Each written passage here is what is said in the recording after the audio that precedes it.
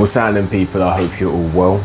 So, Ryan Garcia, he's constantly coming out with fuel to the fire with regards to his failed drugs test. And obviously, Ryan Garcia, his contest, his contest against Devin Haney got turned into a no contest. So that victory is no longer in the history books with regards to the result obviously he won the fight on the night, but then went on to fail a drugs test. So what I'm saying with Ryan Garcia is he's constantly coming out with theories, he's constantly coming out with rebuttals and stories regarding his failed drugs test.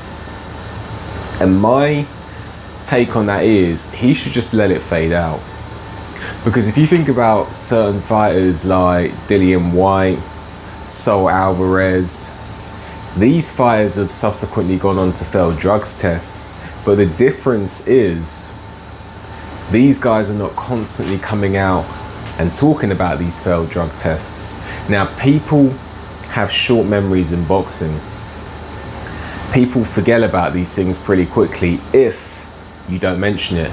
Look at Conor Benn as a bad example. Conor Benn he failed his drugs test and he constantly talked about it and now he very well may have sabotaged his own career because he constantly talked about it it rubbed people up the wrong way. Whereas if he just took a ban or if he really thought he was innocent fight it quietly or subsequently on the other hand he could have taken a ban probably would be fighting again.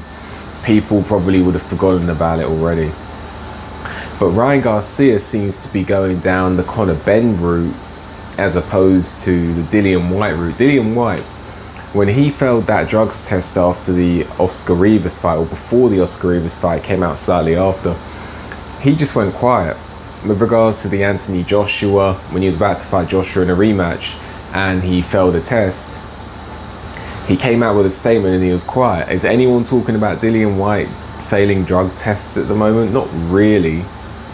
So I think that Ryan Garcia really just needs to let this one fade out because it can actually, he's a young fighter. People forget about these things. If he's just quiet and lets it fade out, that's going to serve him better than constantly coming out with stories and statements.